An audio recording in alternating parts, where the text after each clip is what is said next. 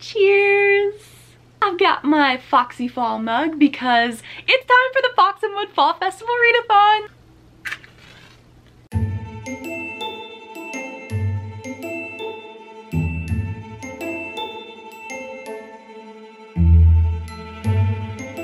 Hey cutie, it's Cunning Little Cutie. I am so excited that you're here today because this week I'm going to be participating in the Foxenwood Fall Festival Readathon.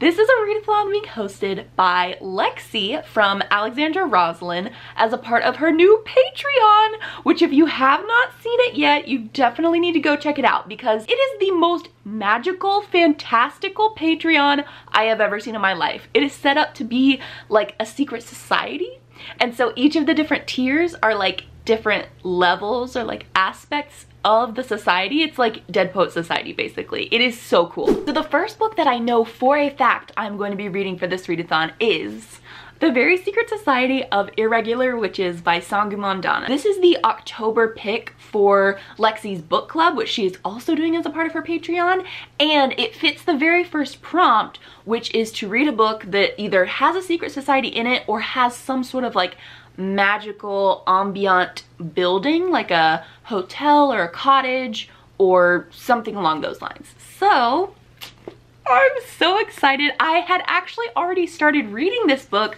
earlier in the month and then when I found out that it was going to be the book club pick, I decided to wait for the readathon to read it. It literally feels like the book equivalent of a hug. It takes place in a cottage on like a British seaside landscape and there's a cute little golden retriever. There's also a grumpy sunshine romance with a librarian, okay? Like the grumpy man is also a librarian and I just cannot wait to finish this book. So I'm definitely going to be reading this one. And then I also thought we could go to Barnes & Noble today because I really want to pick out a graphic novel to read for this readathon as well but I need to kind of see like what my spooky, cute little graphic novel options are. So let's go.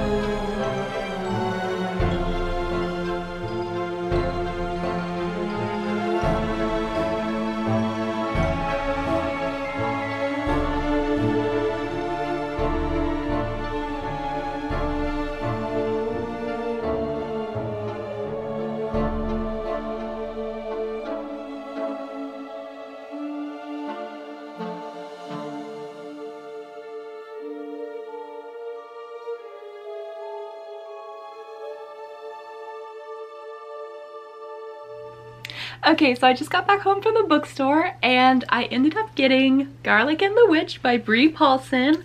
This was pretty much the book I went in hoping that they were going to have and I snagged the last copy, so I'm super excited. This is actually the sequel to Garlic and the Vampire, which I read earlier this year, and it is adorable. It is about an anthropomorphic piece of garlic.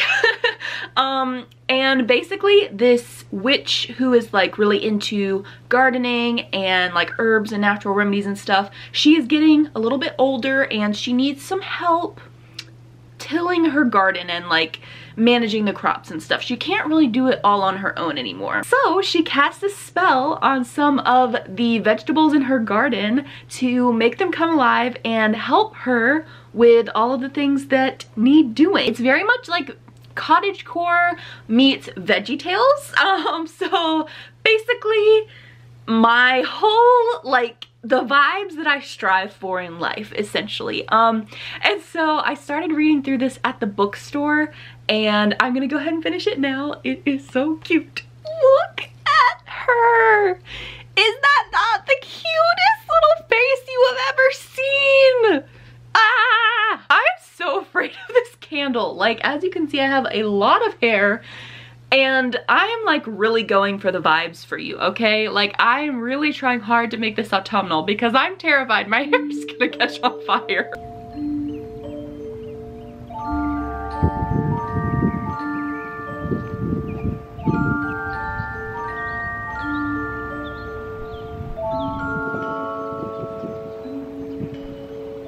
Percy wanted to be in the video. Went to the vet yesterday, he and um, Harley, which is my other dog. And this one in particular was, he, he's trembling. He was completely traumatized. Like, we've taken him to the vet before, but I mean, he was just really scared yesterday apparently and had like all of the other animals at the vet like in a tizzy. so he basically has not left my side for the last 24 hours, which I'm not complaining about, but yeah. So he's gonna be in the reading vlog today. Okay, so I got through about 70 pages in The Very Secret Society of Irregular Witches, and I have some thoughts, okay? So first of all, I love the three little girls in this book, like the ones that Mika, our main character, is like being hired to teach how to use their magic. Like they are so cute. But then one of them is also kind of like you can't really tell if she's being cute or if she's low-key scary. Like she kind of like makes these like threats to Mika and you can't really tell if it's like endearing or if you should be you know, feared for your life. Um, and I love that element. Like, she's absolutely hilarious. Um, and the relationship between them and the guy, like the love interest, is so adorable. Like, he is very, like, fatherly and, like, paternal and nurturing when it comes to these three girls. And so you learn that, like, that's kind of why he is so I don't know, like standoffish in the beginning of the novel is just because he's very overprotective and he does not like the idea of bringing a stranger into the girls' lives. And so Mika is like really having to work hard to not only gain the kids' trust, but also to gain his trust. Um, but of course she's going to because she is just the most adorable ray of magical sunshine. Like, I love her so much. This is, honestly, I don't usually like grumpy sunshines unless the grump is the girl and the sunshine is the guy, but I'm really liking this. Also, the imagery in this book is so perfect. I can totally picture in my mind where they are at and like what this British seaside cottage would look like and it is just like the coziest place you could ever imagine in the world. And also Mika's room is like up in the attic and I've always wanted an attic room like you know where the the ceiling like comes to a point at the top. I don't know why. I had a best friend when I was younger who had a room like that. I always thought it was really cool.